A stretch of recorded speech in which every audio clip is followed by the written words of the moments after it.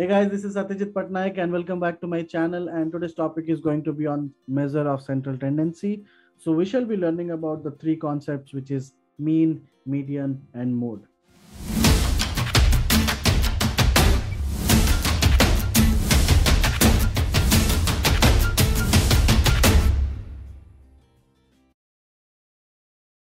Hey guys, so as you have already known that I have recently started uh, working on a couple of statistics videos. I'm planning to have an end-to-end playlist on statistics, which covers a lot of concepts related to descriptive statistics, prescriptive statistics, uh, predictive statistics, and all these things, right? So today's topic is going to be on central tendency, measure of central tendency. We shall be talking about mean, median, and mode, which is a very easy concept to understand but still many of the people are confused when and where to use it. So central tendency measures the center value of the data set. It also gives us idea about the concentration of the value in the central part of the distribution, right? Now, many of you might have known that we usually use mean, median, or mode in terms of null value imputation. Many of the people tell that we have to use mean as a null values. If you have null values just use mean. Some people tell just use median. Some people tell just use mode. But nobody really explains when and where and how to use it. Okay. Before knowing about how to use it we shall be talking about the individual differences between mean median and mode. Mean which is a statistical term the normal human language is basically average. So we tell, tell about average right what is the average score of the Indian batsmen? Let's say everybody score 50, 60, 50, something like that, 50, 60, 50. And what is the average of it? 100 plus 60, 160 by 3, which is 53.33, right? So it's an average set of observation of the data. It computes the sum of all the observation present in the data sets divided by the total number of observations. As simple as that, right? Now, talking about the next concept, which is going to be median. What is a median? Median is exactly the middle value of a data set. It splits whole data set into two parts and takes the middle value. Let's say you have numbers like this 1, 11, 5, 4, 9, 10, 12, something like this. So, what is going to be the middle value?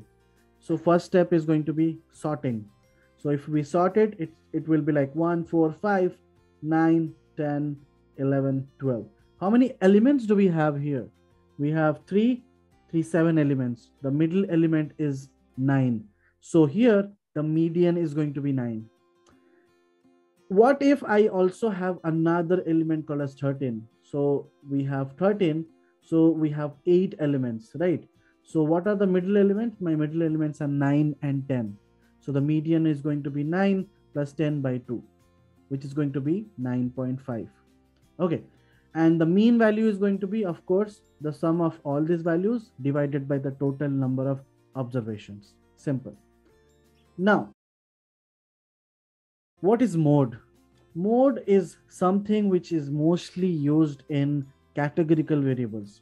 For numerical variables, we can use mean, we can use median okay let's talk about mode first. Let's say i have a feature called as gender.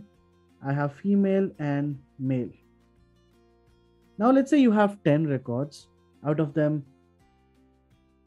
8 have values and 2 are null values.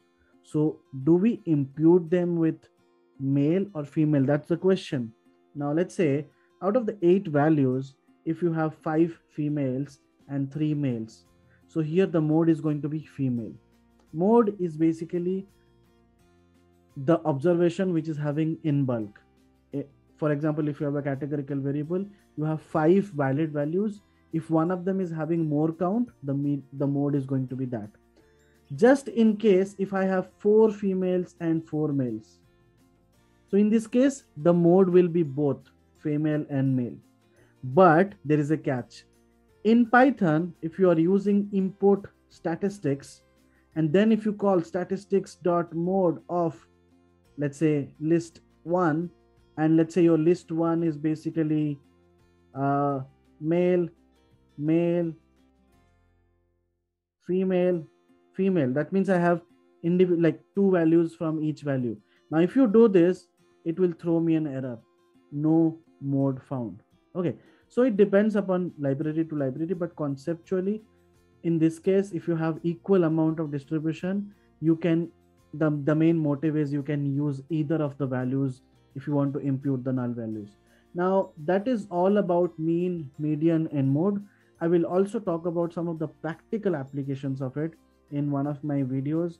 I am coming up with some eda videos as well. I already have some eda videos in my channel but i'm coming up with some more eda videos where i can show you the real implementation of outlier detections how to dis- how to discard the outliers whether to use or not what type of null values imputation we have to do.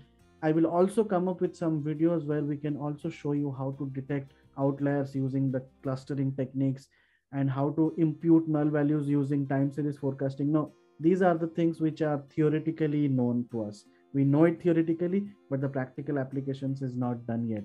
So i will up i'll be coming up with those videos as well.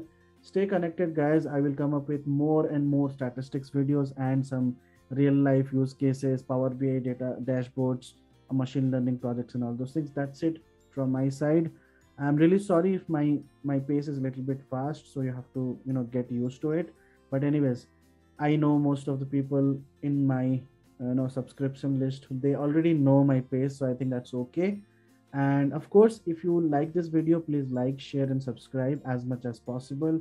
And please write down something in the uh, comment section below so that i will be knowing what kind of background you are coming from. If you have a specific doubts or i don't understand what is kurtosis or what is skewness can you make a video on it? I will definitely make a video on it. Okay.